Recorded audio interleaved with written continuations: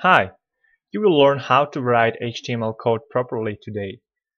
I teach people web development and many of my students write ugly code not according to conventions and I have to tell them how to write it properly again and again. So I decided to record this video and just send them this video and watch this.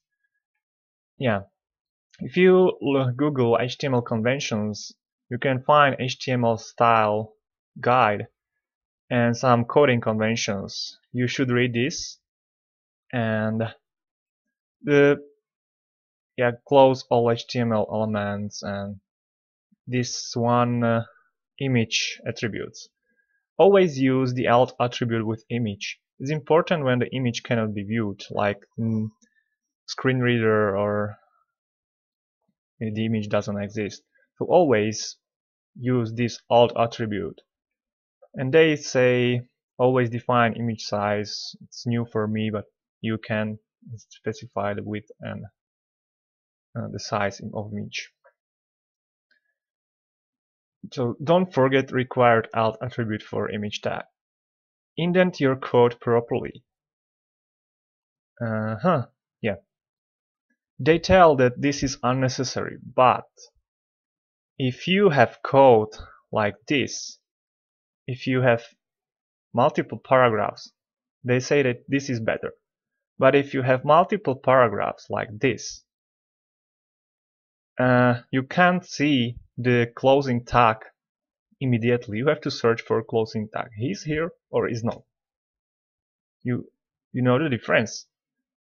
I, now if I put the end tag here, I can see here is the start tag and here is the end tag. And I should do this. So this code this content is inside this paragraph. It's clear. It's indented by two spaces.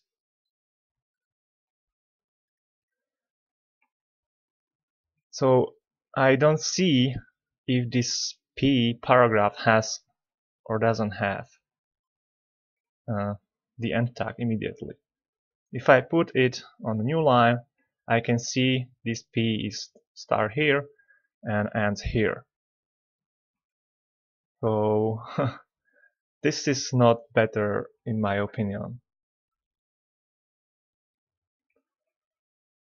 Here are another conventions, but you can read about them. Learn about pair and non-pair tags.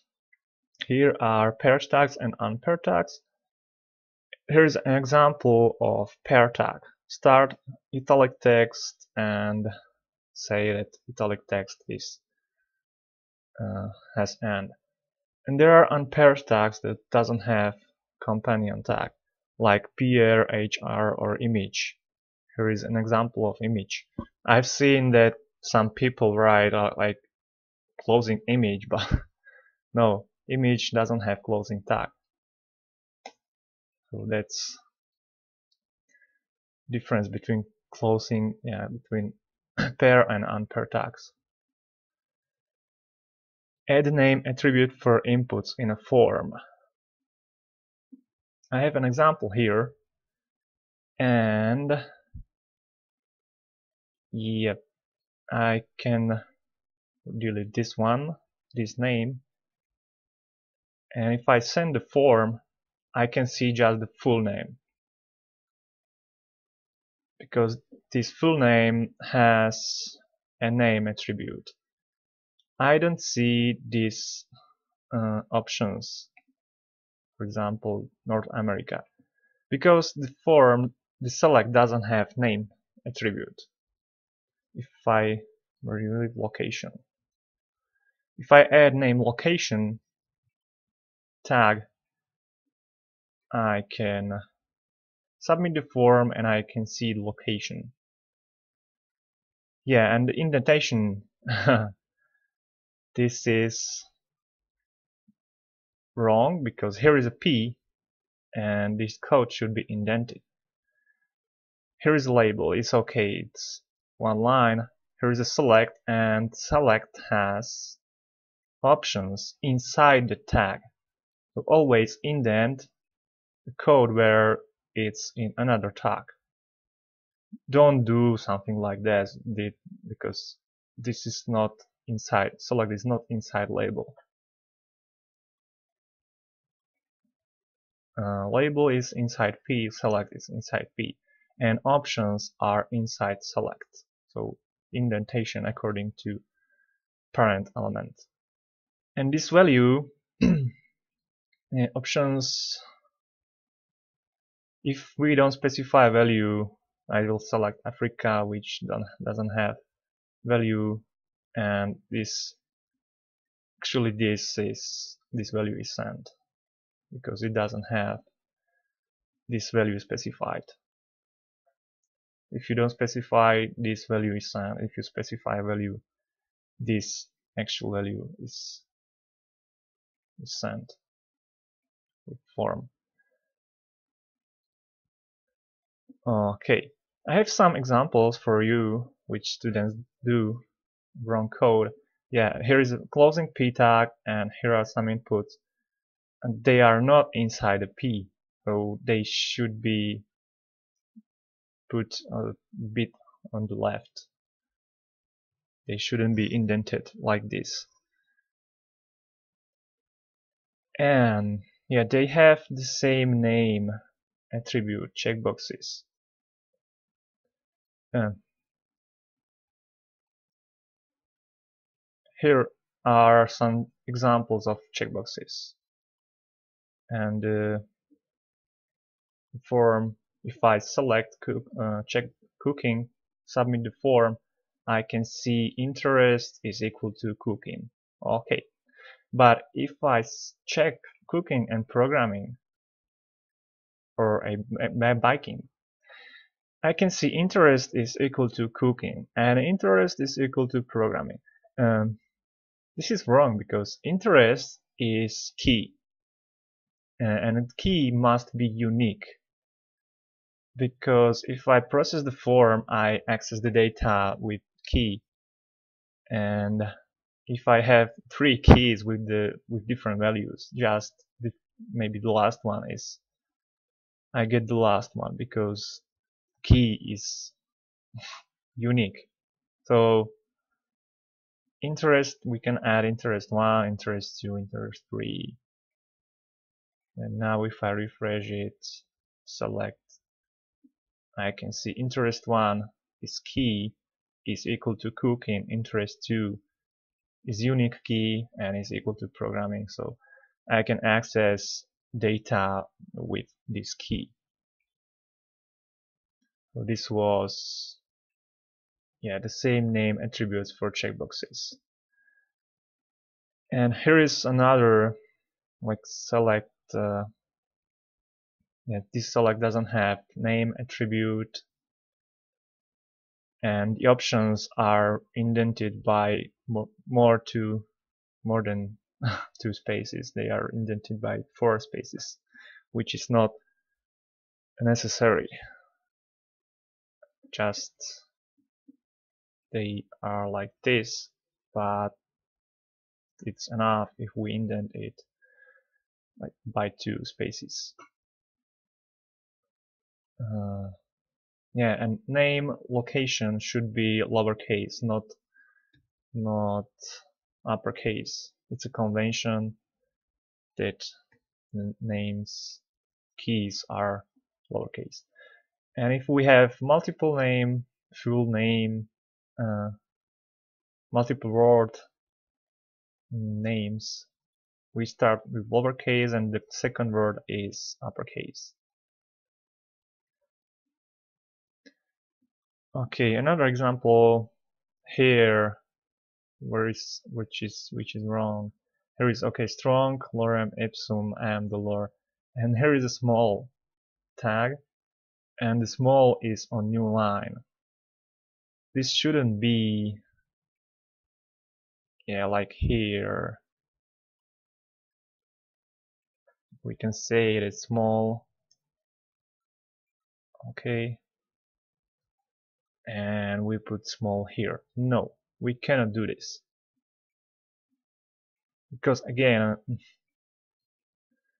we how do I know where this small tag is if just editor doesn't select? We should do something like this. Small on new line and this small opening tag should be on the same line like ending tag. If it has longer content, I would do something like this. P or small and indent it like this. So I can see P has some text and inside P is small text and inside small uh, tag and inside the small tag is this content. And I can see immediately that small tag ends here. Another content is here. Okay, another example, image, yeah, this image has something like this or it looks like this. Image and attribute source attribute alt. Which is not so wrong but we can put the first attribute on the same line like image. And if it's too long we can just oh sorry about it editor yeah. And then my editor indented it properly on the same level as the source tag is and I can see image has source tag alt tag and maybe we can add title.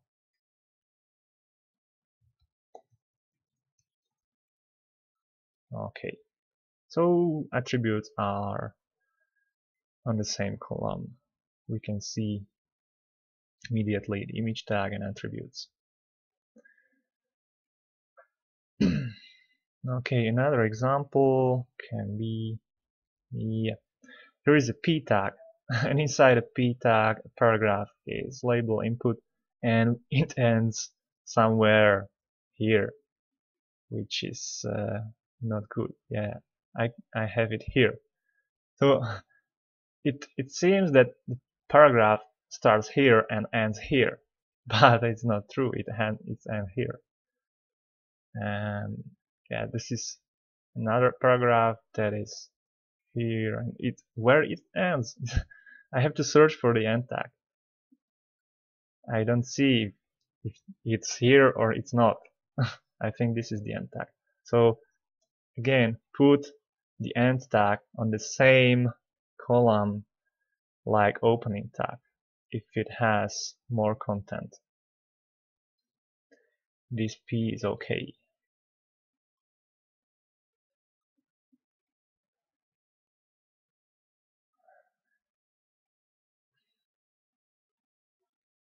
Yeah this div is also this should be indent. So this was yeah here is no select no indent and I can tell you something about links. Mm -hmm. yeah I can delete this. A a no. Www.google.com go to Google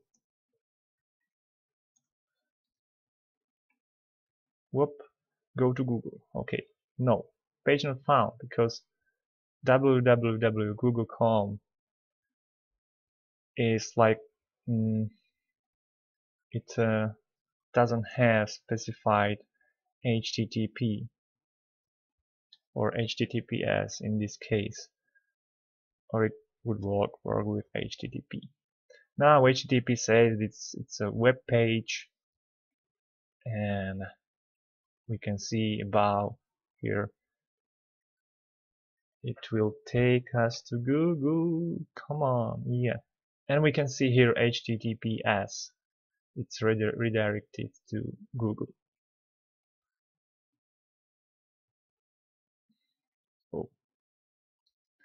Indent your code properly. Don't forget required alt attribute for image tag. Learn about pair and non-pair tags. Add name attribute for inputs in a form. And specify different attributes for each checkbox.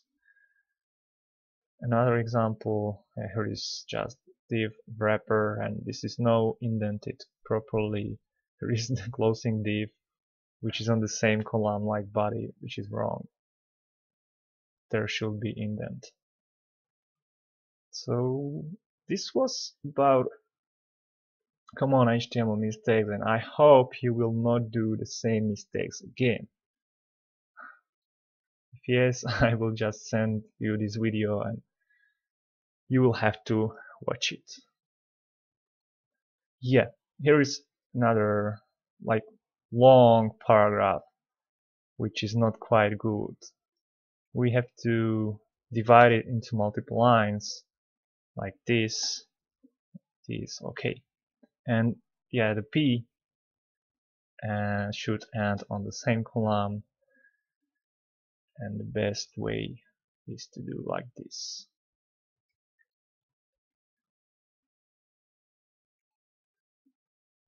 So divide multiple multiple uh, long content into multiple lines.